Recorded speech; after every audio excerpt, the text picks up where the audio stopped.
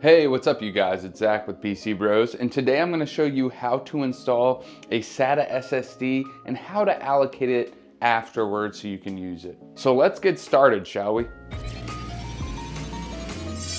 So there's two different types of SSDs. There is SATA SSDs that look like this, and then there are NVMe SSDs that look like this. There's also SATA SSDs that have this style. So for this video, I'm gonna teach you how to install a SATA SSD. Now, if you want to learn how to install an NVMe SSD, I do have a video on that and I will put it up here. The link will be down below. Before installing the SSD, we have to locate the SATA ports on your PC, on your motherboard. For some motherboards, the SATA ports will be at the bottom or the side. That's usually where you will find them. And your GPU might be in the way. I'll show you how to take that out to make it easier to install the SATA. Now, SATA SSDs are great for budget builds like this because usually cases will have little places to rest the SSD. On higher end PCs with fans everywhere, it makes it harder to use a SATA SSD and then at that point, you probably have a motherboard that supports a super fast NVMe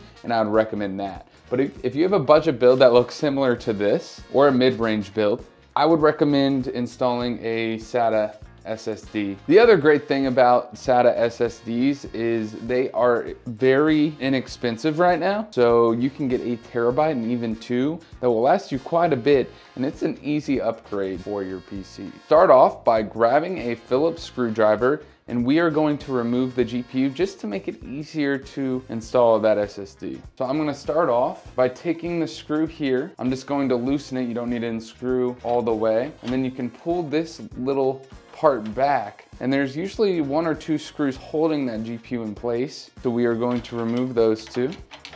And now the GPU is just kind of resting there. Locate the little lever on the slot and push it in. And now you can pull the GPU out very gently. And you can keep this plugged in if you want. I'm just going to rest the GPU down right here. And then you're going to pull the PCIe cable off by just holding down and wiggling. Now carefully place your GPU to the side and then we can locate the ports. Now these two are the SATA ports available for this motherboard. These actually are doubled up, so there's actually four here and they're angled, which is gonna make it easy to hide that cable and feed it through in the back here. Remove the side panel so we can get into the side here. As far as where to put the SSD, there's a couple options with this case, but if you wanna get real creative, you could put it in the basement with some adhesive on the bottom here and then just put it in the basement if you want. I'm thinking I'm gonna put it right here because then you can feed the cable this way and it'll come up and connect and the cable through the power supply can just come up this way. This comes down to preference and how your cable management is going to work and it will be slightly different for each case. Again, if you have a more budget or mid-range build, they'll have SSD. Sometimes they'll be labeled and you'll see SSD on the side here. Sometimes they'll be here, but I'm kind of feeling just putting it right here and that makes it easy for you to get the screws on the other side too. Again, that comes down to preference, so it'll be the same no matter where you put it. So on the SATA SSD, there are two cables you're going to need. These usually come with the motherboard. You get an angular one and then a straight one. Use whatever you think is best for your situation. And then on your power supply, you are going to want to use the SATA that comes with that. Usually they come all together like this and you just pick whatever one makes the most sense is closer and best for the cable management. There are four screw holes. We are going to need screws that look like this. These are the same screws that you would have used for your motherboard. And then I am going to place the SSD with the ports facing down. That way the cables are gonna be cleaner. And then on the other side, I'm gonna line up the holes and then start a screw. Just gonna get my screwdriver ready and line it up. Now be careful when screwing these in because if you screw it in too tight, Sometimes it will break off on the SSD. I've had that happen before. You do not want that. All right, now I'm going to put a screw in on the other side. So there's one on each corner. You really only need two screws to keep it secure. You can do four if you want, whatever you're feeling and whatever you think would look best for your situation. Okay, now we are go going to grab the smaller cable. Actually, I'm gonna go with the angled one. I think that will work better. We are going to go one side in the back here Want to push it into here, the click and then the rest gets fed through here and we will plug that into the smaller port. And then you plug in the other one from the power supply right next to it. That can only go one way as well. And now we will put the back plate back on. Don't forget about the side screws. And then we are going to need the GPU in.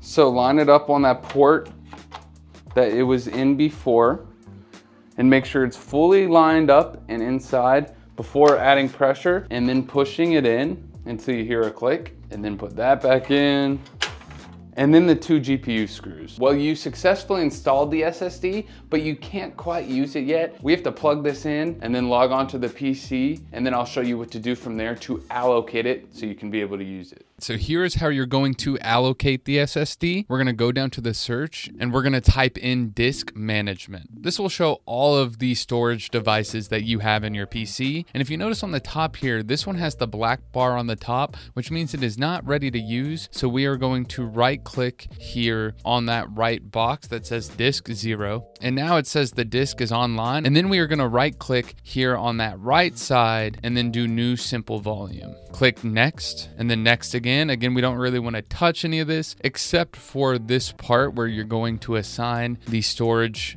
a letter. You can choose any one you want and then click finish. And now it should say healthy, new simple volume. And to double check and make sure it did work correctly, type in task manager on the search bar and then click performance. You should see the new storage device here. Let me know in the comments if this helped you out and I'll see you in the next one.